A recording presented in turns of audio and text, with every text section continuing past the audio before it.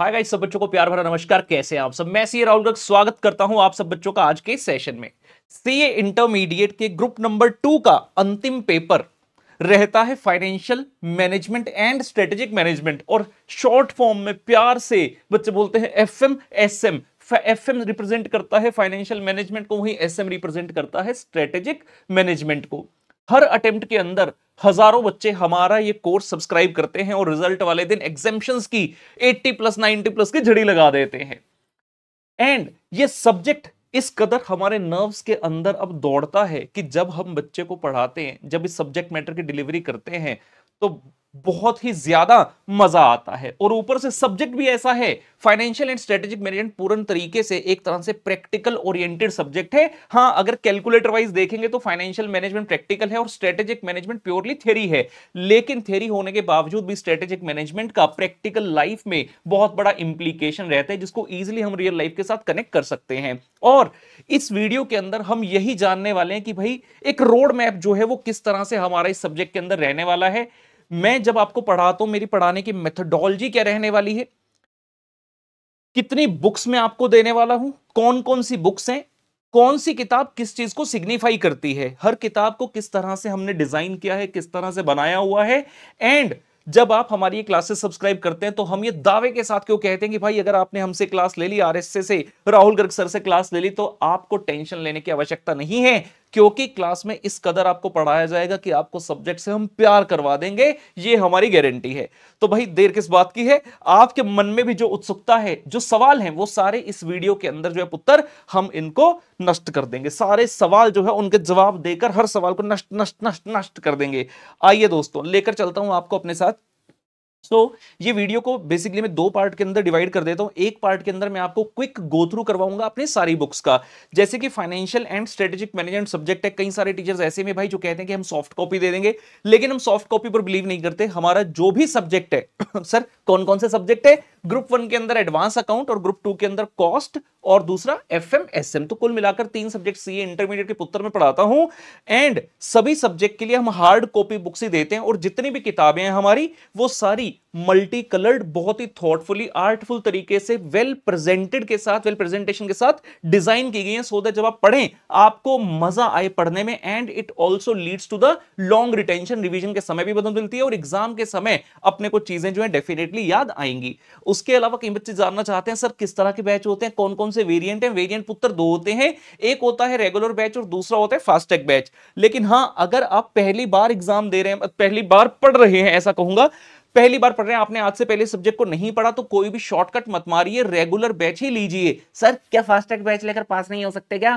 पास तो मैं तुम्हें फास्टैग बैच से भी करवा दूँगा, उसमें कोई दिक्कत ही नहीं है।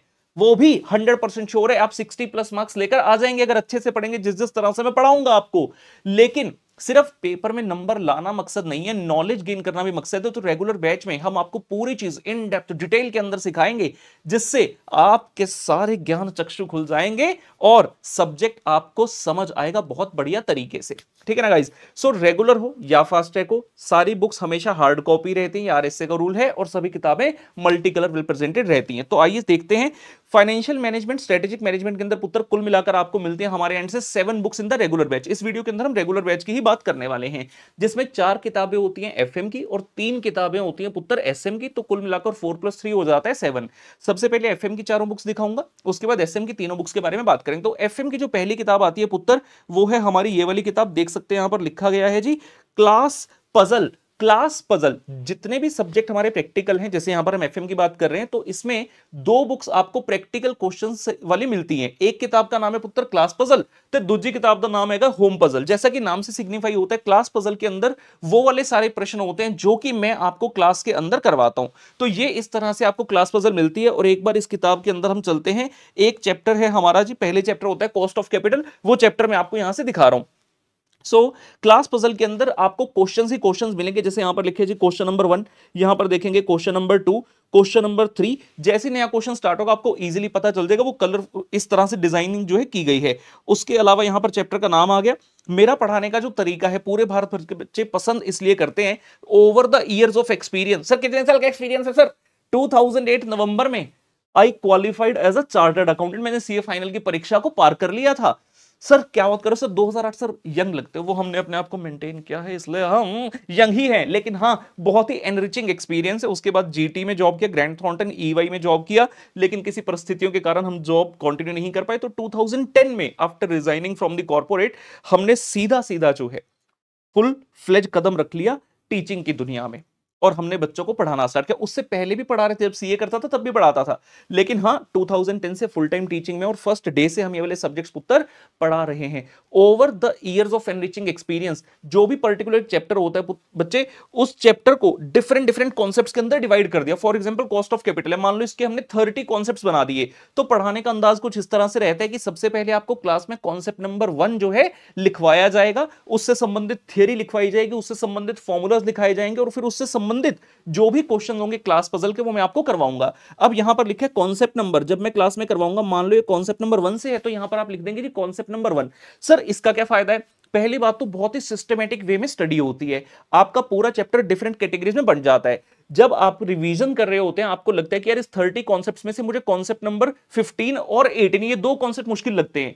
तो आप सिर्फ़ उन्हीं कॉन्सेप्ट्स पर फोकस कर सकते हो, क्योंकि आपने यहाँ पर किताब के अंदर पहले से ही मार्क किया होगा। लेट से ये क्वेश्चन कॉन्सेप्ट नंबर पंद्रह से है, ये कॉन्सेप्ट नंबर अठारह से है। तो आपको सारे क्वेश्चन देखने की आवश्यकता नहीं है। You can focus only on those question relate to the concept number fifteen and eighteen उसके अलावा सर आपने और कुछ भी लिखी है, सर। यहाँ पे कुछ रजिस्टर नंबर लिखा है पेज नंबर लिखा है, सर। ये आंसर लिखा है। सर, यहाँ पर एक ये निशान सा बना हुआ है, सर। इन सब की क्या सिग्निफिकेंस है? तो भाई बता दूँ, जिन बच्चों को नहीं पता, काफ़ी बच्चे तो जानते हैं। जब मैं अपनी पढ़ाई करा था qualified as a C A C S C W A C F A M B A DISA etcetera etcetera और भी कई चीज़ें हैं। तो मैंने five times all India rank लिया है। सी A C S I C W मिलाकर पाँच बार ऑल इंडिया रैंक लिया है, जिसमें ऑल इंडिया रैंक वन तक शामिल है। For that I was awarded the gold medal also ये इसलिए बता रहा हूँ बेटा, क्योंकि जब मैंने पाँच बार रैंक लिया, मुझे ये पता है कि एग्ज़ाम में किस तरह से लिखने से आपको मार्क्स मिलेंगे। एंड आई नो कि कितनी बारीकी से हमें प्लानिंग करनी पड़ती है। जब रिज़ल्ट आता ना, एक बच्चा कहता है, अरे बाप रे, इसको रैंक आ गया। तो रैंक ऐसे ही नहीं आता कि कुछ भी हुआ, जाकर एग्ज़ाम में लिख दिया और रैंक आ गया। नहीं उसके लिए बहुत ही माइन्यूट लेवल तक की प्लानिंग करनी पड़ती है अगर आपको इतने बड़े अहदे तक पहुँचना है। तो उसकी सारी प्रैक्टिस क्लास के अंदर मैं आपको करवाऊँगा और इसीलिए मेरा जो पढ़ाने का तरीका है, वो बाकियों से थोड़ा अलग और थोड़ा सुपीरियर रहता है। मैं आपकी एग्ज़ाम डे तक की प्लानिंग पूर्ण तरीके से इस तरह से कराऊँगा कि आपको जब रिवीजन करनी होगी ना बेटा एग्ज़ाम डे पर तो उस दिन हमारे सामने इतने मोटे मोटे रजिस्टर में आपके बनवा दूँगा, इतना सारा काम किया होगा तो उस दिन आपको कुछ भी अगर ढूंढना है, वो इमीजिएटली आपको मिल सके। जैसे यहाँ पर रजिस्टर नंबर लिखा है, आपके कई सारे रजिस्टर बन जाएँगे। अब मान लो ये तो ये तो चैप्टर वन है तो ऑब्वियसली इसमें तो रजिस्टर नंबर वन आएगा। उसका कौन सा पेज नंबर है, पूरे रजिस्टर के मैं पेज नंबरिंग करवा दूँगा आपको। तो मान लो पेज नंबर सेवेंटी पर ये वाला क्वेश्चन आपने सॉल्व किया है। एग्ज़ाम वाले डे पर आप क्या करेंगे? जब आप मेरे साथ पढ़ते हैं तो मैं यहाँ पर स्टार रेटिंग लिखवा देता हूँ। मान लो मैंने कुछ क्वेश्चन का लिखवा दिया फाइव स्टार इसका मतलब है कि वो वाले प्रश्न तो बेहद इंपॉर्टेंट है। तो एग्ज़ाम वाले डे पर आपने पूरी किताब में से मान लो टोटल थर्टी क्वेश्चन है जो फाइव स्टार है। आपको थर्टी क्वेश्चन देखने हैं। और आपके पास 800 पेज की नोटबुक्स भरी हुई हैं तो आप वो 30 क्वेश्चन कैसे ढूंढोगे? आपको इमीडिएटली यहाँ पर देखकर पहले तो समझ आएगा कि अगर अपने पाँच रजिस्टर है, उसमें से कौन सा नंबर रजिस्टर है, और उस रजिस्टर में कौन सा नंबर पेज है इमीडिएटली आप वहाँ तक पहुँच जाएँगे।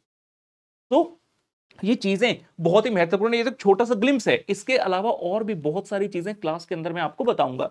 फिर जब कई बार आप क्वेश्चन करते हैं, हर क्वेश्चन के अंदर हो सकता है कोई नया पॉइंट हो जिसको लग रहा है कि यार ये वाला पॉइंट तो एग्ज़ाम वाले डे पर देखकर जाना है, लेकिन पूरा क्वेश्चन देखने की आवश्यकता नहीं है। तो यहाँ पर आप देखेंगे हमने यहाँ पर टीआरजी की नोट करके एक यहाँ पर फ़ील्ड डाल दी। इसके आगे ब्लैंक है, आप चाहें अपनी लैंग्वेज में यहाँ पर कुछ भी लिख सकते हैं और एग्ज़ाम वाले डे पर आपको सिर्फ़ इस पॉइंट को पढ़ना है, जो रेलिवेंट है, जो मुश्किल था, जो टिपिकल था और आपका वो वाला पॉइंट इमीजिएटली डन अप हो जाएगा। आपको पूरा क्वेश्चन देखने की भी आवश्यकता नहीं है। तो ये है हमारी क्लास पजल एक पर्टिकुलर चैप्टर है, इसके अंदर बहुत सारे प्रश्न हमारे होते हैं।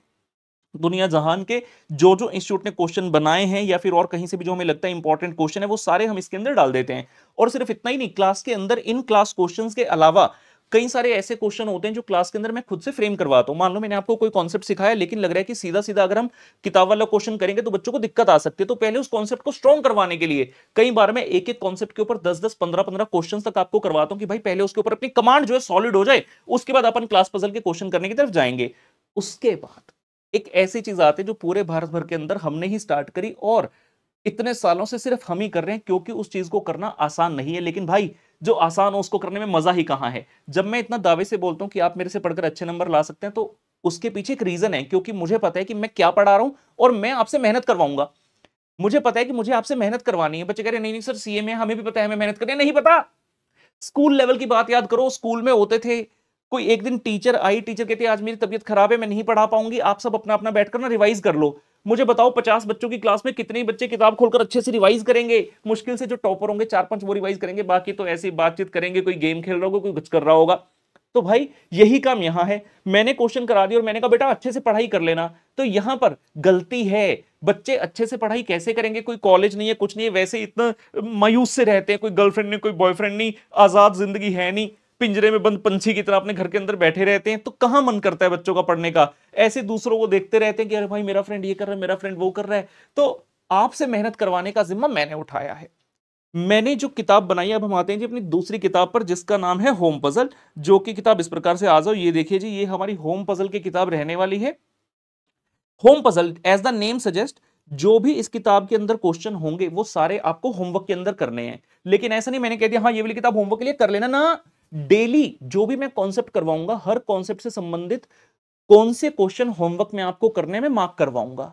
आप वो क्वेश्चन घर से करोगे एक्चुअल में होमवर्क का अलग रजिस्टर बनाकर करोगे और वो क्वेश्चन अगले दिन नेक्स्ट लेक्चर में जब आओगे, तब मैं आपको चेक करवाऊँगा। सर, क्या बात कर रहे हो, सर?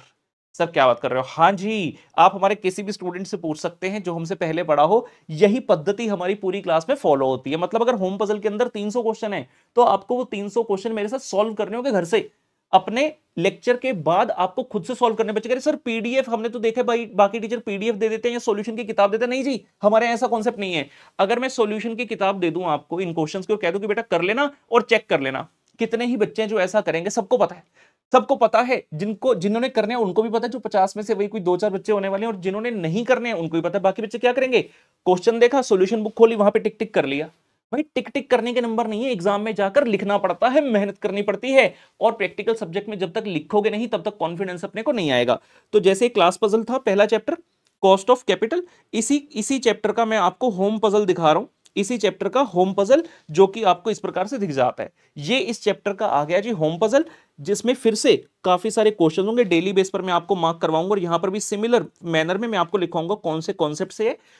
आप अपना रजिस्टर नंबर पेज नंबर भर देंगे फाइनल आंसर लिखना चाहें तो यहाँ पर लिख सकते हैं और स्टार रेटिंग यहाँ पर बनी हुई है। तो हर चैप्टर के अंदर बहुत सारे क्वेश्चन जैसे यहाँ पर देखेंगे फ़र्स्ट चैप्टर के होम पजल के क्वेश्चन है, ये डेली बेस पर जब तक चैप्टर चलेगा, मैं आपको दूँगा और आपको घर से करके आने होंगे नेक्स्ट क्लास में मैं आपको चेक करवाऊँगा। बहुत एक बढ़िया माहौल बन जाएगा और आपका कॉन्फिडेंस टॉप पर पहुँचा दूँगा, ये दावा है। ये तो हो गई जी प्रैक्टिकल की बात। एग्ज़ाम के अंदर mainly FM subject practical oriented ही है, लेकिन छोटी मोटी थ्योरी भी आ सकती है और स्पेसिफिकली जब से एमसीक्यू आए तो थ्योरी की इंपॉर्टेंस बढ़ गई है। तो टेंशन ना ले, पूरी थ्योरी आपकी क्लास के अंदर मैं करवाऊँगा। हंड्रेड परसेंट थियरी जो है आपकी होगी और उसके लिए एक अलग से किताब भी मिलेगी जी आपको, बहुत ही प्यारी सी इंटर फाइनेंशियल मैनेजमेंट गाथा, ये वाली किताब आपको मिलेगी। गाथा किताब के अंदर हंड्रेड परसेंट सारी की सारी थियरी होगी। किस तरह से ये वाली किताब भी आपको दिखा देते हैं। बहुत ही वेल प्रेजेंटेड मैनर में टेबुलर फॉर्म में सारी किताब बन, बनाई गई है। तो ये एक चैप्टर आ गया जी। इसमें सबसे पहले यहाँ पर रेड कलर में जो लिखा है फ्लैग के साथ ये आपका होता है जी हेडिंग एक फ्लैग बनाकर लिख दिया। हेडिंग हो गया इसके अंदर ये डिटेल्स आ गई। दूसरा आया मतलब ये फिर से मेन हेडिंग आ गया। और इसके अंदर ये सब हेडिंग आ गया पहला main heading procurement of fund जिसके अंदर पहले पढ़ रहे हैं बेसिक फिर मेजर कंसिडरेशन मेजर सोर्सेज क्या है। नेक्स्ट कॉलम बना। उसके बाद एक्सप्लेनेशन आई मतलब ये इसका सब हेडिंग है तो equity share capital is the sub heading of the major sources तो इस तरह से पूरी किताब जो है पुत्र बनाई गई है, और फिर से यहाँ पर नया हेडिंग आ जाता है। उस तरह से आगे ये सारी थ्योरी मैं क्लास के अंदर आपको करवाऊँगा, आपको टेंशन लेने की आवश्यकता नहीं है। तो ये एक पर्टिकुलर चैप्टर में आपको दिखा रहा हूँ। बहुत ही बढ़िया तरीके से थॉटफुल तरीके से, बहुत सोच समझकर इस किताब को बनाया गया पढ़ने में मज़ा आएगा आपको, ये गारंटी है।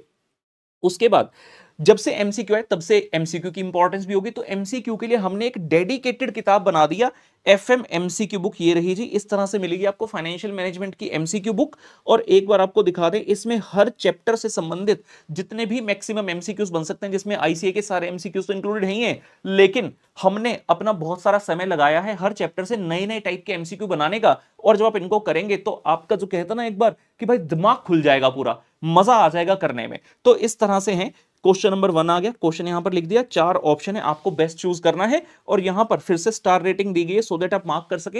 हो सकता है कि इस चैप्टर के अंदर ट्वेंटी एमसीक्यू आपको लग रहा है इस ट्वेंटी में से यार ये तीन बड़े टेढ़े से हैं तो आप उनको फाइव स्टार मार्क कर दीजिए एग्ज़ाम वाले डे पर सिर्फ़ उनको देखकर जाइए क्योंकि बाकी तो आसान आते हैं। साथ में लिखे रेफरेंस मटीरियल कई बार कोई क्वेश्चन होता है, हो सकता है उसके बारे में हमने क्लास पजल में या फिर आपके रजिस्टर में जब मैंने नोट्स बनवाए आपको तो आपने डिटेल में कॉन्सेप्ट लिखा हो और आपको लग रहा है कि यार मुझे वो कॉन्सेप्ट रेफर करना ज़रूरी है, या फिर वो एफएम गाथा के अंदर किसी पर्टिकुलर पेज पर वो वाला टॉपिक है तो आप यहाँ पर उसके बारे में रेफरेंस दे सकते हैं। तो इसी तरह से बेटा पूरी किताब को सजाया गया हर क्वेश्चन इस तरह से चलता रहेगा। एक फ़र्स्ट चैप्टर है, जिसका मैं दिखा रहा हूँ, सारे क्वेश्चंस एक साथ, और जैसे ही क्वेश्चंस कंप्लीट हो जाएँगे लास्ट में आपको आंसर की मिलेगी, जहाँ से आप अपने आंसर जो है चेक कर सकते हैं। तो ये रही जी आपकी एफ़ एम की किताब। अब बारी आती है, सर, आप क्लास में ना पढ़ाते किस तरह है? तो जितनी भी चीज़ें बता रहा हूँ बेटा, ये सब हमारी यूएसपी है। ये सब हमारी यूएसपी है। बात आती है क्लास के अंदर आप किस तरह से कराओगे? जैसा मैंने कहा कि ऑल ऑफ़ यू गाइज़ अगर आपने मुझसे class Lee you will look up to me कि यार सर क्या करते हैं? बिलीव में बेटा, जो मैं क्लास के अंदर करूँगा ना, आप वही चीज़ एग्ज़ाम के अंदर करके आओगे। मैं आपको क्लास में रफ वर्क की तरह चीज़ें करा दूँगा ना, आपको क्या सर ने भी तो ऐसे लिखा था, हम भी ऐसे कराते हैं। मैं आपको पीडीएफ पे आंसर चेक करवा रहा हूँ, कुछ लिख नहीं रहा, लिख रहा हूँ मैनर में लिख रहा हूँ, मज़ा नहीं आएगा पढ़ाने का। और जो शुरू में बात की थी कि भाई रैंक लिया है पाँच बार, वो ऐसे ही नहीं आता तो वो मैं क्लास के अंदर सारी चीज़ें रिप्रोड्यूस करता हूँ बच्चों को सिखाने के लिए। तो ये एक पर्टिकुलर चैप्टर है जी हमारा वर्किंग कैपिटल मैनेजमेंट कोई भी एक चैप्टर मैंने उठा लिया आपको दिखाने के लिए कि मेरा पढ़ाने का तरीका क्या है। जैसा मैंने बताया था आपको, सबसे पहले क्या आ गया? कॉन्सेप्ट वन कॉन्सेप्ट वन के सामने कॉन्सेप्ट वन का नाम। और एक चीज़ होती थी जिसको बोलते हैं standardisation I believe in standardisation जब आपका पेपर में ऐसा मानता हूँ टीचर के हाथ में पहुँचे ना चेक होने के लिए। तो टीचर को देखकर ही लगे, वाह, क्या पेपर किया और मज़ा आए टीचर को चेक करने में नंबर देकर जाए। वो कैसे आएगा, वो भी सिखाऊँगा क्लास में। तो उसमें एक चीज़ आती है स्टैंडर्डाइजेशन आप देख रहे हैं, यहाँ पर कॉन्सेप्ट नंबर वन लिखा हुआ है रेड कलर से। नीचे डबल अंडरलाइन है वॉयलेट कलर से। आप कोई भी मेरी क्लास लोगे, हर बार जो कॉन्सेप्ट स्टार्ट होगा, वो ऐसे ही होगा। हर कॉन्सेप्ट नए पेज से होगा, हर आंसर नए पेज से स्टार्ट होगा।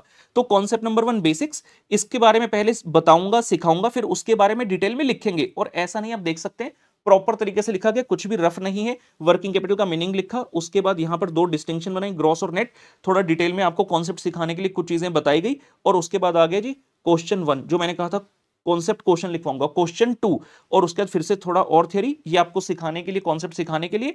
उसके बाद आगे जी statement showing estimation of working capital देख सकते हैं, बहुत ही क्लियरली कोई ओवर राइटिंग नहीं, कोई हेफाजार्ड नहीं, और इसे मेन आता है जी आपके फॉर्मूलाज तो वैल्यूज़ कैसे निकालनी है करंट एसेट करंट लाइबिलिटी की? प्रॉपर देख सकते हैं, यहाँ पर हेडिंग दिया गया ए करंट एसेट्स इस ए के अंदर आ रहा है, सबसे पहले वन रॉ मटेरियल स्टॉक यहाँ पर लिखा गया फॉर्मूला फॉर्मूला के नीचे एक्सप्लेनेशन दी गई ए के अंदर नंबर टू डब्ल्यू ये कौन सा हेडिंग चल रहा है? करंट एसेट्स के अंदर वन टू ये आ गया जी थ्री फिनिश स्टॉक नंबर चार डेटर इस तरह से चलता रहा और यहाँ पर फिर आया नंबर बी करंट लाइबिलिटी अब इसके अंदर एक एक करते हुए सारी करंट लाइबिलिटी आ जाएँगी। तो ये आपका कॉन्सेप्ट नंबर वन चल रहा था।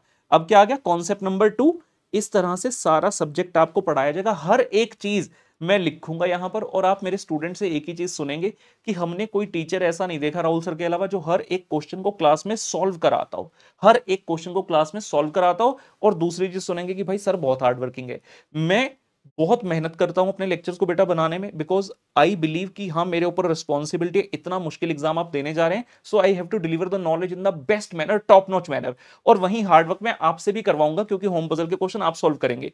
तो मेरी मेहनत और आपकी मेहनत मिलकर पुत्र ऐसा रंग लाएगी ना एग्ज़ाम वाले डे एग्ज़ाम वाला डे भी अपना जॉयस होगा और जो रिज़ल्ट वाला डे होगा, उस दिन अपनी बल्ले बल्ले हो जानी है। ये आगे जी concept number two concept number two से संबंधित क्वेश्चन किए उसके बाद फिर कॉन्सेप्ट नंबर थ्री आ जाएगा।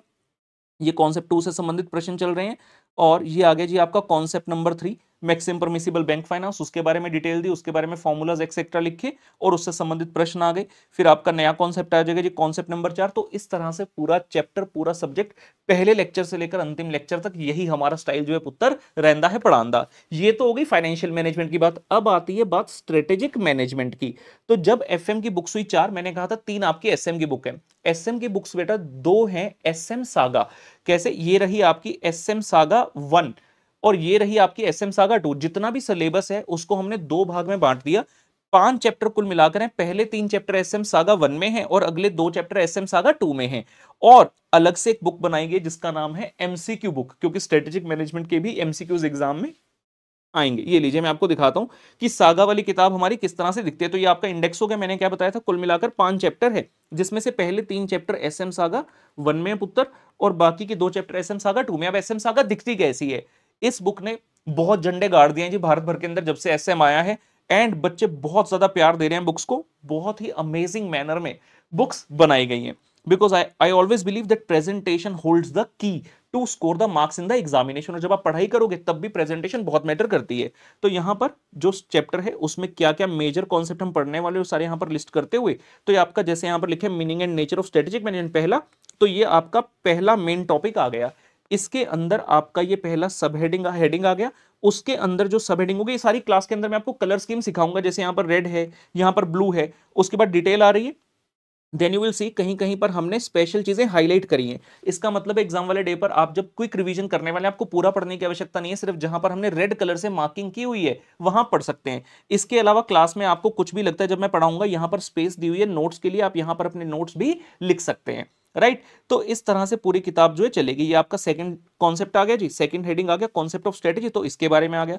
पूरी किताब के अंदर कई सारे चार्ट्स डायग्राम्स एक्सेट्रा ऑलरेडी बने हुए हैं। और जब मैं आपको पढ़ाऊँगा, जब मैं आपको पढ़ाऊँगा देख सकते हैं किताब बहुत बढ़िया तरीके से बनाई है, मज़ा आएगा पढ़ने में, ये मेरी गारंटी है।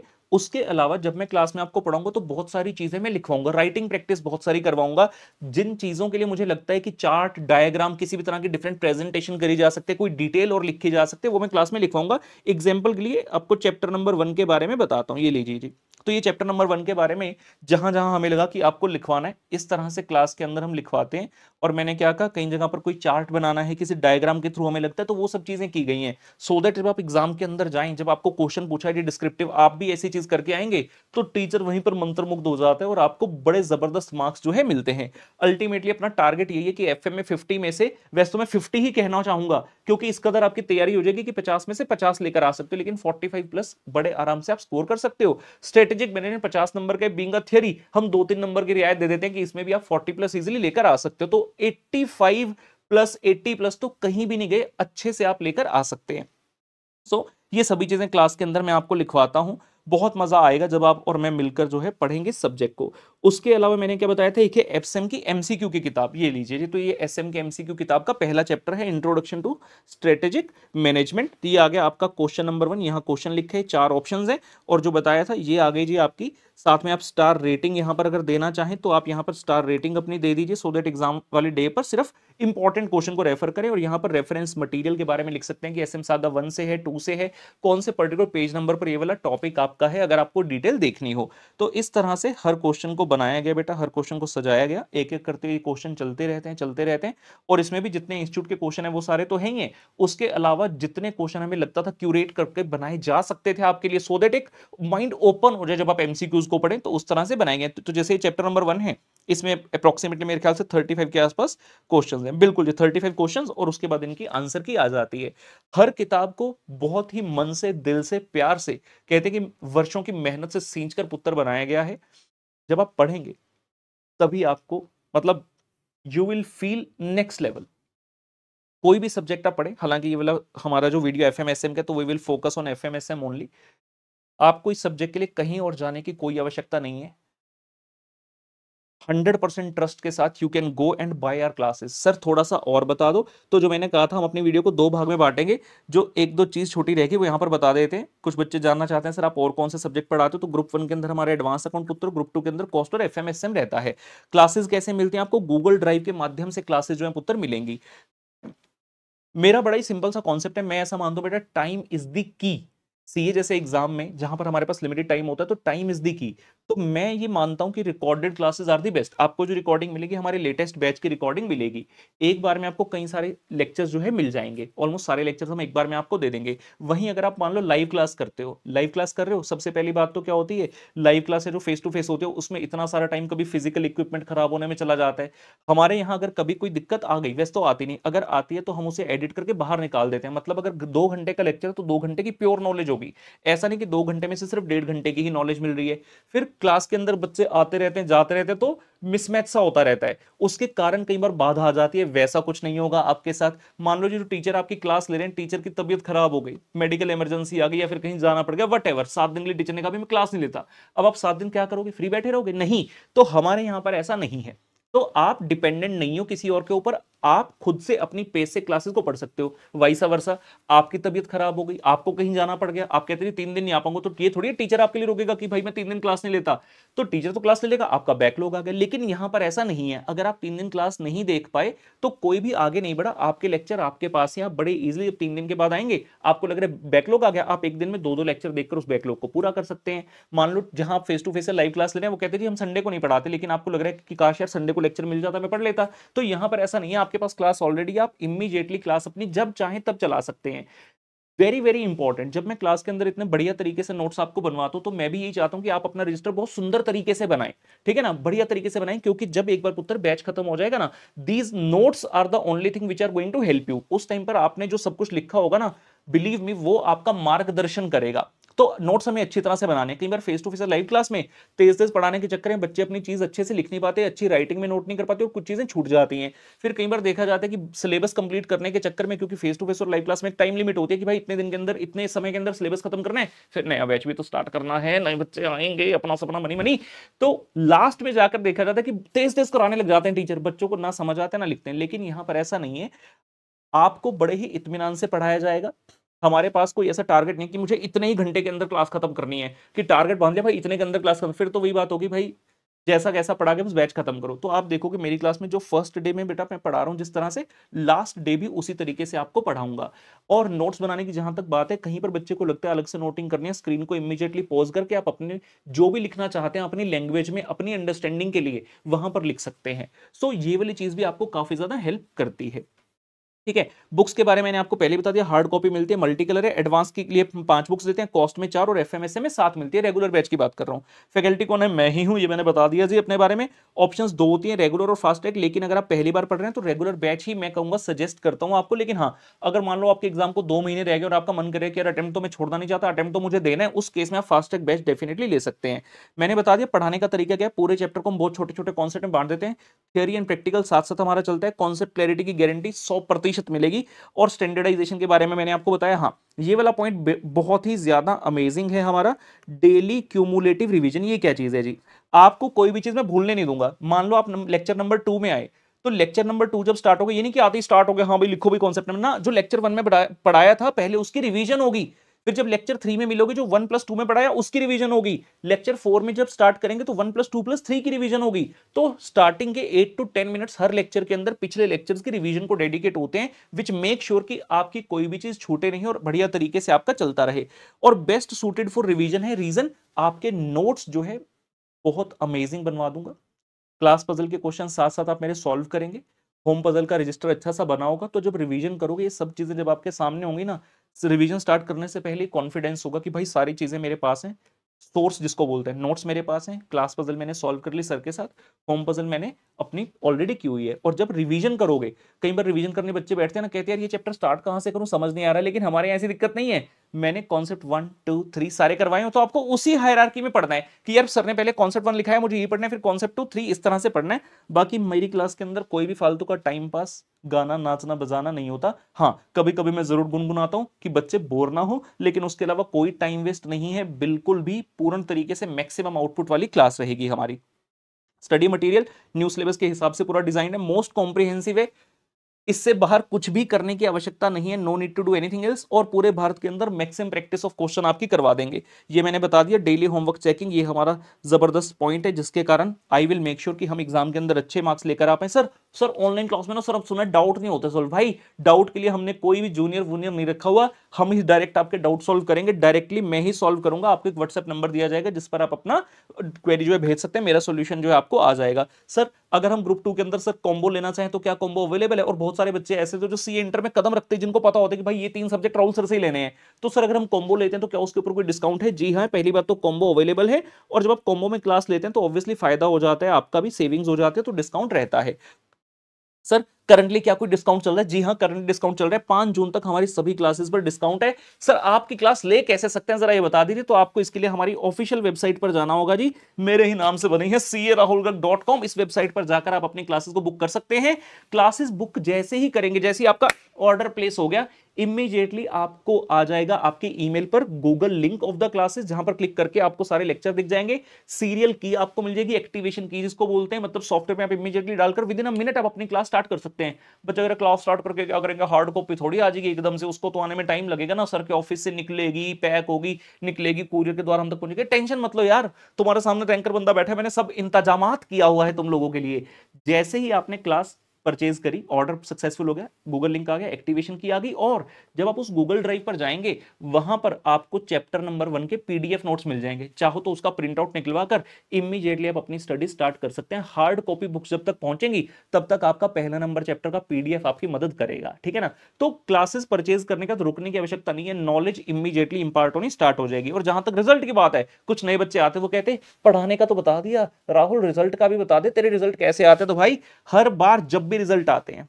आरएसए के रिजल्ट्स हमेशा बेस्ट इन द कंट्री होते हैं, जिसके लिए आप हमारा Telegram channel YouTube channel join कर सकते हैं और हमारी वेबसाइट पर जाएँगे, वहाँ पर रिजल्ट्स नाम का एक आपको टैब दिखेगा, उस पर जाएँगे तो आपको हर अटेम्प्ट की, जितने भी अटेम्प्ट रिसेंटली हुए हैं, उसमें हमारी एग्जामिशन लिस्ट बच्चों की फ़ोटोज़ के साथ मार्क्स एक्सेट्रा सब चीज़ दिखेगा। And last year we scored more than six thousand तो टेंशन किसी बात की मत लीजिए। You are in the absolute safe hands और यही कहूँगा आजकल कई सारे और टीचर भी पढ़ाना पढ़ाना स्टार्ट कर चुके हैं। विदाउट मच नॉलेज तो मैं कहूँगा कि किसी भी जगह पर सिर्फ़ किसी वजह से कि भाई मौज मस्ती हो रही है या ऐसा हो रहा है, वैसा हो रहा है, किसी भी रीजन से ना फंसे। Choose a good mentor and मैंने अपनी सारी चीज़ों के बारे में डिटेल में इसलिए बताया सो दैट आपको समझ आ जाए। मैं ऐसे नहीं बोला आकर हाँ भाई, मेरी क्लास लोड बेस्ट है। मैंने सब चीज़ें दिखाई आपको, किस तरह से बुक्स डिज़ाइन की गई हैं, किस तरह से क्लास में लिखवाने का तरीका है। एवरीथिंग बिलीव में पुत्र this is the best for you ठीक है ना? सो so, मेरी तरफ़ से all the very best and see you in the batch bye